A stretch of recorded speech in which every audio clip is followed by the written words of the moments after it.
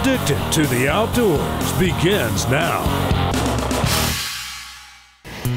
Well, we have finished our first season of Addicted to the Outdoors, and uh, it has been an interesting ride. Uh, first and foremost, we want to thank our fans because if you guys didn't watch, we would not get to do this for a living, and uh, we really appreciate it. You know, it's been an interesting year, a lot of highs and a lot of lows, and uh, all in all, just a blast. And we've been trying to figure out how to close our season, and we all came up with the idea that I love, and that is let's give our fans the best of season number one.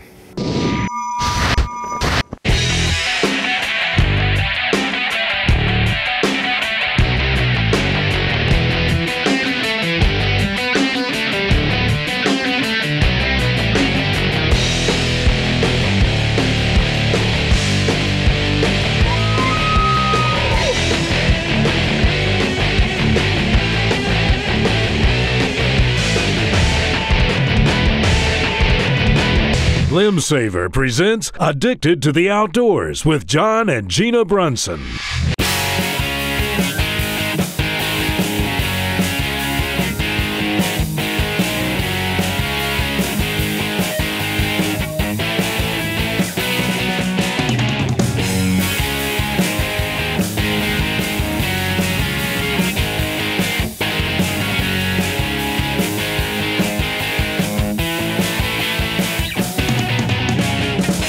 LimbSavers, Addicted to the Outdoors, best of season one.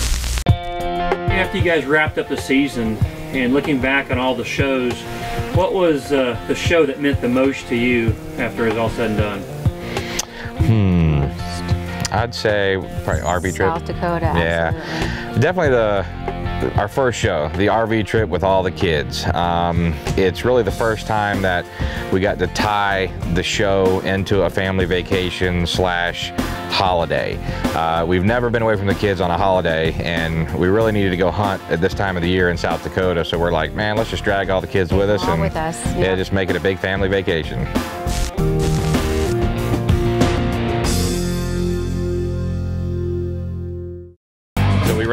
Big RV. We threw all six kids in there, plus me and Gina, plus two camera guys, and we headed from Tampa, Florida to South Dakota on the big Brunson road trip vacation.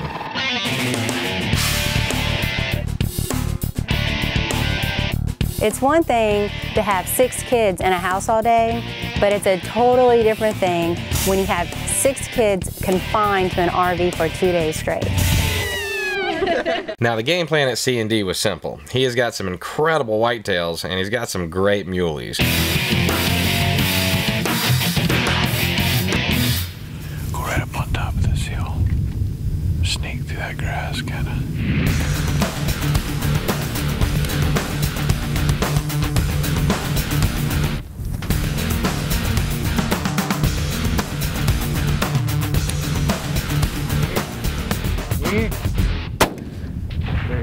It was Thanksgiving Day, and I just shot my first muley ever.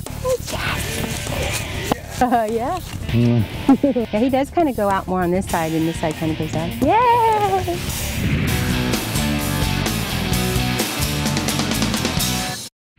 Cover was pretty scarce, so it was time for us to start belly crawling.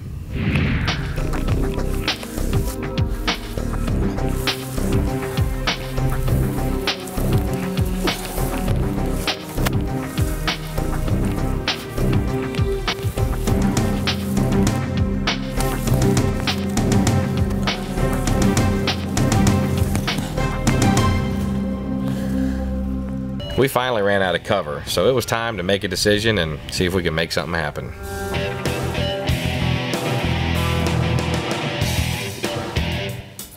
Well, I'll tell you, after running out of cover, I was still sitting a pretty good ways from this deer.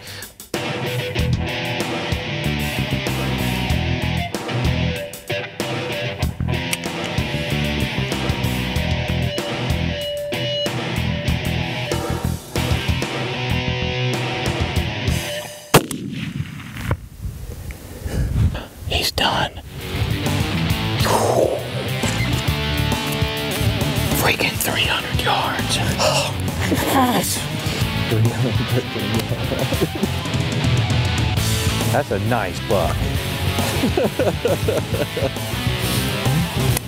We got it done. Big old neck on him.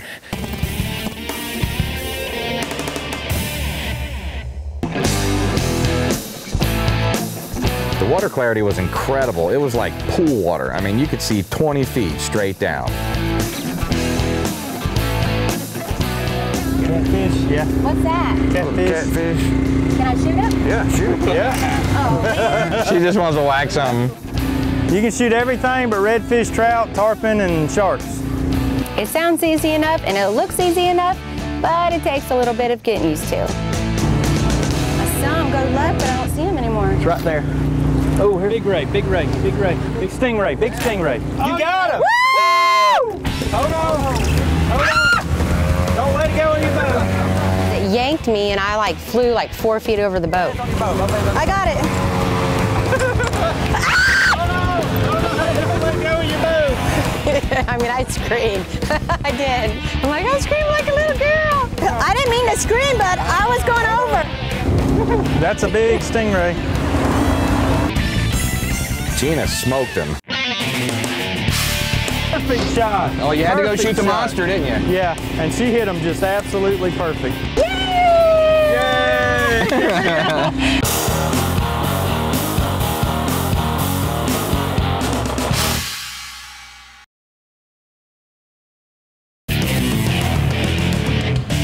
Welcome back to Addicted to the Outdoors.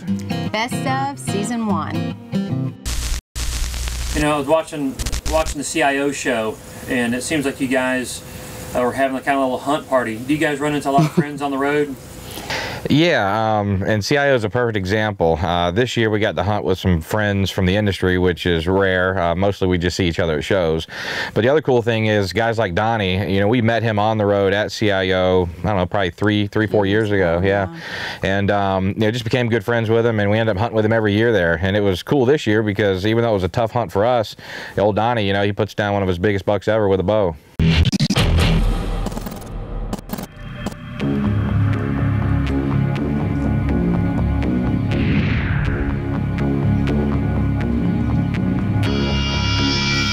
Big old wide deer was headed his way.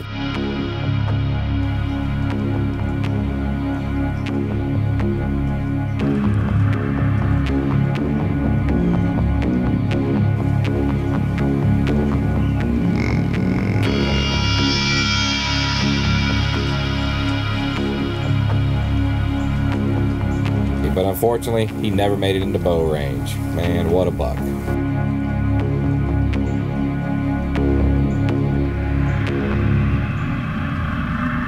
Guess this big old buck read the script because he was headed right down the trail.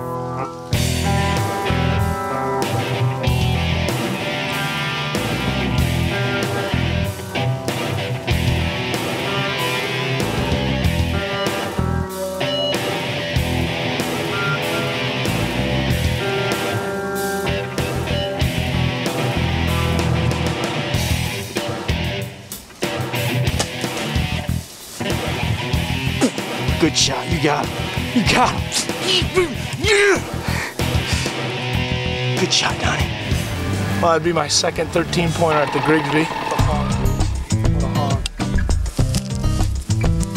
Yeah. One awesome deer. Whoa, whoa, whoa, whoa. Jon, I'm on my side of the road. huh? You are psycho. Hey man, that night was her fault. She was driving and she about killed us doing, you know, Mach 10 around the pin hair Well, that's because it was pitch About- black and I had three guys yelling in my ear with a big light in my face. So that means press the gas harder and, you know, let's end up in the cornfield. Um, now, you know, with us, we're, you know, we've been together 18 years. Uh, so we're definitely the typical married couple with kids. I mean, you know, we're going to pick at each other and poke at each other. And, you know, it's just the way it is. Uh, the thing about us is what you see on TV is what you get. I mean, that's, you know, that's how we are and that's the real deal. Yeah, that's reality. Well, after our evening hunt, we decided to shoot over to the Grigsby to have dinner with everybody, but uh, nothing's that simple. We unintentionally decided to take the scenic route. We are getting lost. I knew I should have drove I'm telling you, babe. Well, I because we've been on this road for a while, and he said it's only five or six miles. That was Rupel. No, you said Rogie. Rupel's it. Rupel's in. Rupel's it. Rupel's in. It. I told you I saw it. Told you. What? Right here. Slow down. Slow. Right here. Right here. Right here. No, it's not. Rupel. Rupel. Oh. Why is it on that side? Oh, I told you that. I said that on the way down here the first time. and You're like, no, because uh, it's on the right. I'm like, no, I'm thinking there was a road on the No, left. you but said you were so sure. That's because you said the road was called Rogie. Nay, nay, nay, nay. Nay, nay. I will go back and check the tape. And if that's, That's the case, fine. I will erase it. I don't know how it was my fault because they were telling me where to go. Okay, you need to slow down. Jon, I'm only going 30 miles an hour. Yeah, but there's a bunch of turns like that, Gina. Just to be safe. There's no more roads. He said it was on that road. Oh, we're gonna crash and be in a cornfield. Gina, What? I'm going 25. uh, Gina's fixed to get thrown in the cornfield. What's the name of the road that the lodge is on? Don't even say we're on the wrong Rogie. We're okay, we're on Rogie. We're, no, we're on Rupel. Wait a minute. I told you that, Jon. Stop. I know. We, we, we're still good. We're still good. No, we're not. We're on Rupel, like way. Danny's the man. All right. Man, this has been a big ordeal. We've been everywhere except to the right place. Oh man, this is like the 18th call. No service. Oh my God! Somebody shoot me. 45 yards. I could have, but I had no, I mean, no shot whatsoever. But I, I swear it's 160 inch eight. Well, it's always fun hanging out at camp, but this year was a little more fun than normal because we got to catch up with some of our friends from the industry, and we just don't get to hunt together that often.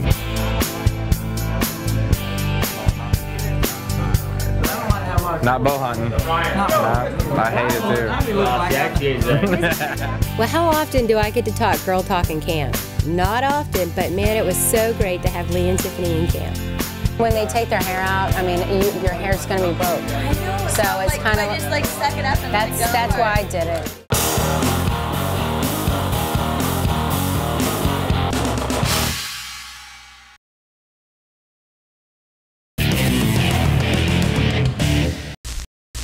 Welcome back to the best of Addicted to the Outdoors, season one. No, all right, ready? I noticed on the Deer Meadows hunt in Nebraska on that show, you really pulled it off at the last minute. Yeah, that was uh, th- that was a tough hunt. Um, mainly because Gene and I we opted to hunt together instead of splitting up, which was a mistake. Uh, then I got poison ivy, which cost us a day. Yeah, I mean, so uh, yeah, it's all my fault. So um, you know, it was tough, and I ended up passing on a bigger buck the first morning than, than I ended up killing. But you know, that's hunting. Um, sometimes you pass and you get a bigger buck. Sometimes you get nothing, and sometimes you pull it off at the last minute, which is what I did. About 4:30 rolled around, and we were thinking, man, this can't be good. We spotted him, we moved on him and set up, and uh, finally, with just a little bit of light left, he was heading down the mountain.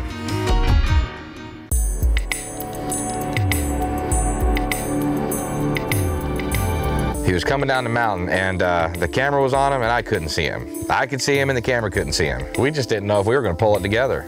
Is he the one to the left? I don't see him. Are you on? We finally pulled it together, and uh, I squeezed the trigger.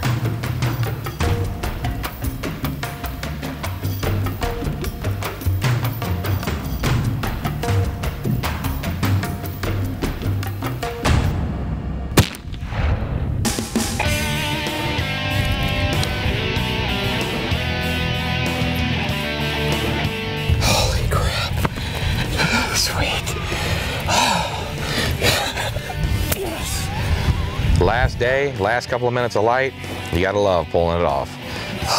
Freaking sweet, sweet, sweet. Johnny saved the day. Easy now. I don't know, but he's a nice buck. He's heavy, he's nice first muley. Smoked in.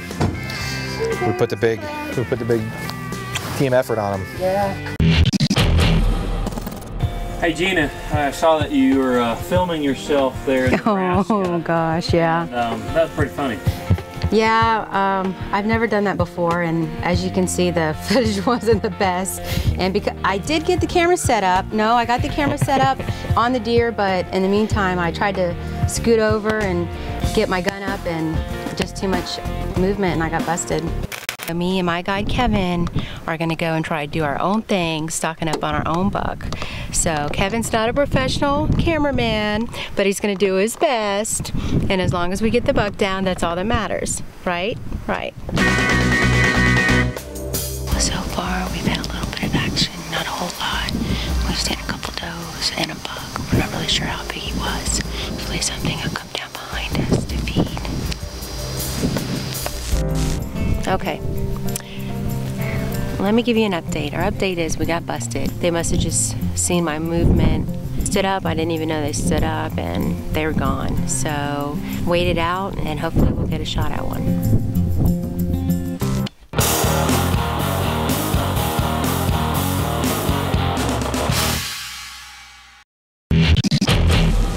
Tell us about your Texas buck. Well, he was a monster, and I was so excited when I seen him come out because I knew I was going to shoot him.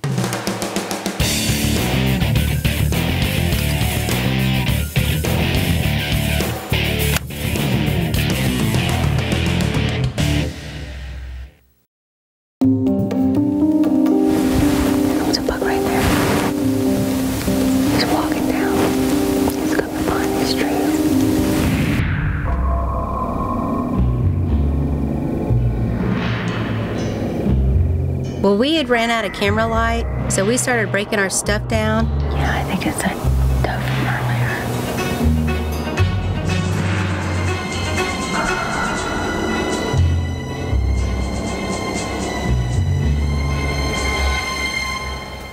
We had already called it a night, but this doe popped out of nowhere, and guess what was right behind her?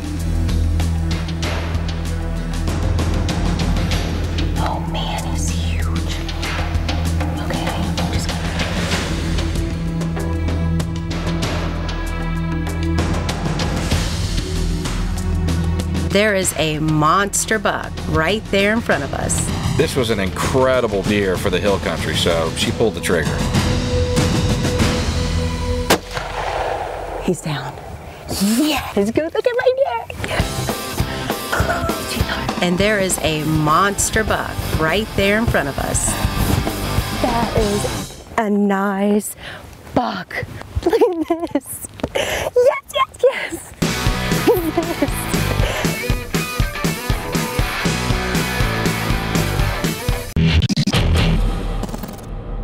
Tell us about the uh, Florida Gator trip you took Lee and Tiffany on. Oh, that was so fun. Go ahead, you tell them, babe. I, for me, the highlight was Tiffany getting yanked off the front of the boat. I mean, that was the funniest thing I'd ever seen. Her eyes were like, Oh my gosh.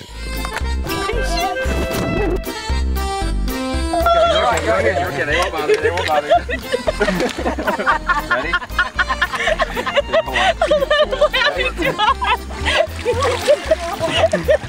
Oh, your mic too. Oh man, that was fun. They pull hard, you let them go. Yeah. Oh, I did. I tripped. When we got back in the boat, you know, she was fine, so it was all good. But we, I got back to the hotel room about five that morning, took a quick shower, laid down in bed. It was dead silent, and I just started cracking up. And Gina's like, "What are you laughing at?" I'm like, "All I can see is her flying off that boat and her eye, her face when she came out of she that water." was such a good sport, though. Uh, yeah, yeah, she She did. She did real good. really She good. didn't freak out too bad, so we were proud of her.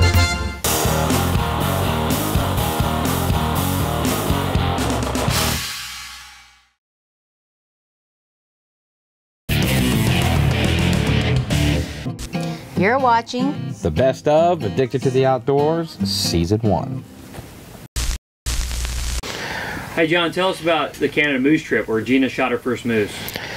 Uh, that was a really cool trip, very interesting uh, wilderness hunt, and um, a lot of fun. And uh, yes, Gina got to shoot her first moose. Yeah. It was a great trip, and it was more fun for me to see her shoot her first moose than it would have been for me to actually shoot my first moose. Our first sighting was a cow and a calf.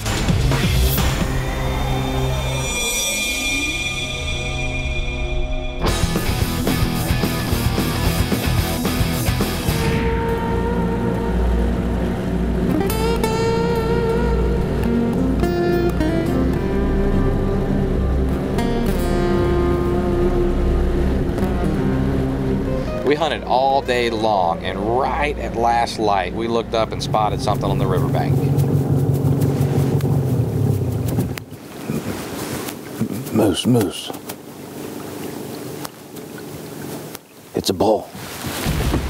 All right, there's a bull broadside. I was gonna have to stand up in a canoe, floating down the river, shooting a muzzleloader. This was going to be a tough shot. 150 yards with a muzzleloader out of a boat.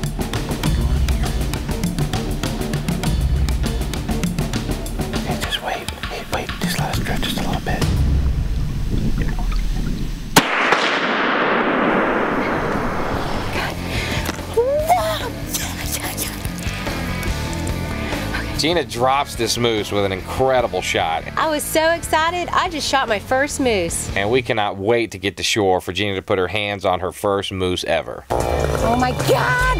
I'm in Canada. It's our second day, and I killed a moose standing up in the boat. Freaking! The smile on her face, the look on her face was priceless.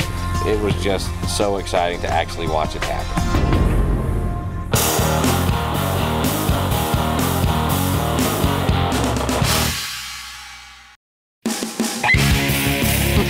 Um, uh, you know, it, it was a great season, uh, a lot of fun. We learned a lot.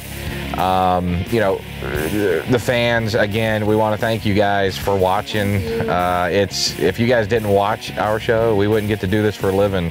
So we're, we're very thankful that we get to chase our dream and do what we love for a living. Because you know, a lot of people can't say that. Um, We've learned a lot this year, especially working with Finch. Um, you know, he sends us what I call hate mail, um, tweaking us and telling us what we're doing right and wrong in the field. So we've definitely made a lot of adjustments on how we're filming, and we've made a lot of adjustments on our trips. I'll tell you this, uh, we are definitely going to bump it up to a different level next year. Corey, stop.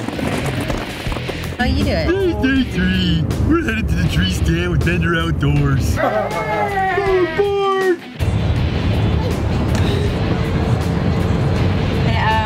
like six hours, and Corey already broke the table. I didn't break nothing, and now I'm fixing it.